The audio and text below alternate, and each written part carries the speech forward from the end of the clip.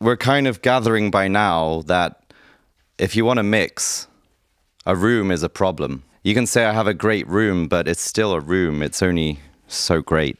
Um, an ideal in an ideal world, you know, we would just take our speakers and put them outside and mix out there. When speakers are designed, they're they're tested in uh, anechoic chambers, which kind of emulates a, a, a space where there's no boundaries, a little bit like a field, or if you were elevated in the air by you know a hundred feet and there was nothing around you, that's how you're going to get a true response of a speaker.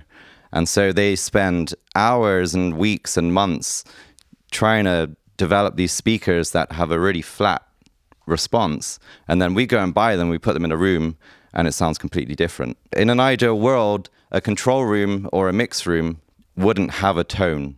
There wouldn't be a tone, it would, it would be a neutral space. The only problem with that is, um, and we get this a lot, people get scared that if they're going to put a lot of panels everywhere, they're going to end up with saying this to us I don't want the room to be too dead. What can we do about that? Well, really, a, a, a dead room is a, is a strange term because it only really happens if you haven't taken care of the bass, which might kind of hit on. I think we're all kind of telling you you need to control the bass. That's the most important thing. If you have a room and you just put up a load of one inch uh, pyramid foam and you just cover all of the surfaces, all the first reflections, they're, they're you know in the in the high and mids, maybe the higher side of the mids are going to be dealt with pretty pretty efficiently. But the only problem with that, it's kind of like turning the bass control up on your hi-fi. Now you have an overemphasized bass and you have even more of a muddy, boxy room than you did to begin with. Um, and if it's if you're using foam, then it, it might catch on fire as well. What you need to do, we, we know that we need thick panels that are absorbent from the highs all the way down to the lows. And we we need a lot of coverage because the wavelengths are so massive that you need a lot of panels. You know, there's no point just having like the bass trap in the corner and expecting that to absorb all of the bass.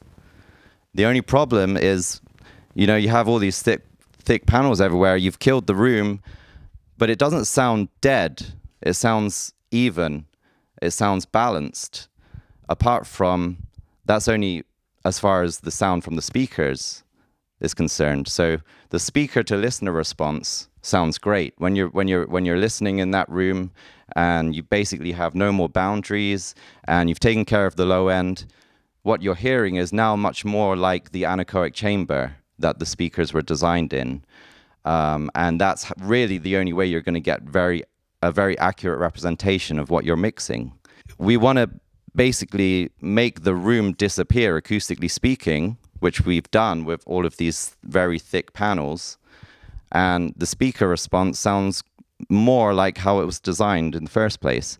But we're human. We tend not to really like spending time in rooms where our brains can't really locate where the boundaries are. It it it it kind of makes us feel a little bit uneasy it, it kind of makes us feel like we're in a padded cell or something like that. You know, it, maybe it's going to drive us insane. And other people have, depending on uh, your tolerance to this, some people can can stay in a room like that for hours and hours and think that that is, that is fine, and, and they can work there. And, and I'm I'm kind of more like one of those people. I don't really mind so much if the room is is very well controlled um, with with with zero reflections. Other people they they can't they can't really spend long hours of time uh, working in these rooms uh, without any kind of reflective elements in the room. So what we need to do is we need to start introducing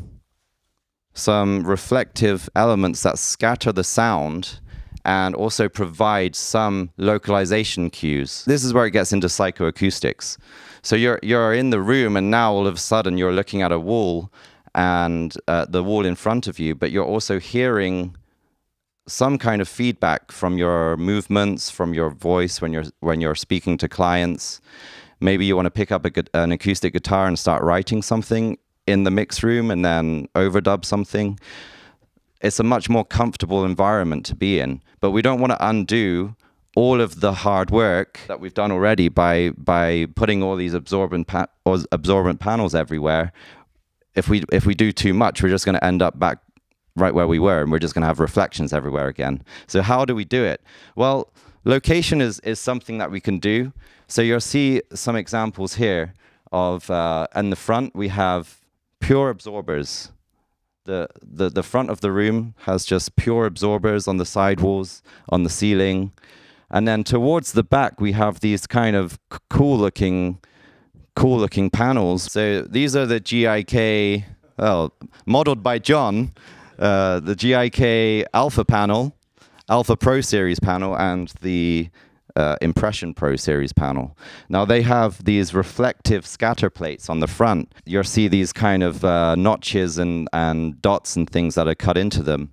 So what that does is it, it they're they're still primarily absorbers actually, even though they still they have these reflective surfaces on the front of them, but they're they're cut in a way that majority of the the mid and low frequencies is just going to go straight through into the absorbent material behind, but the uh, the scatter plates on the front is just enough to provide some high frequency reflection, which is where the clarity is, so that the room starts to sound a little bit a little bit more natural again.